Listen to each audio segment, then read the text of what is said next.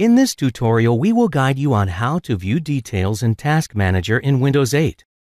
First of all, go to the bottom left corner of the screen, right-click and select the Task Manager option from the menu.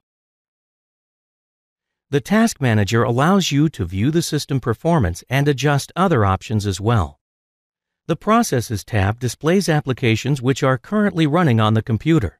In order to close any program immediately, right-click on its name and select the End Task option from the menu.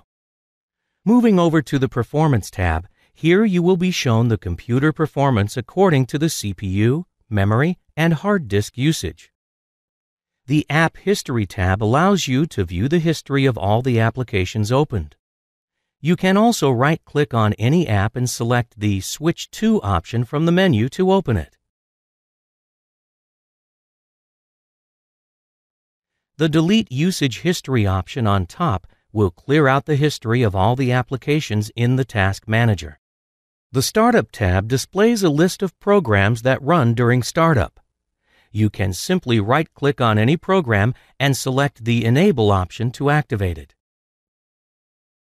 The Users tab shows you the list of users currently connected with this computer along with their resource usage. You can disconnect any user or manage his or her account from here only.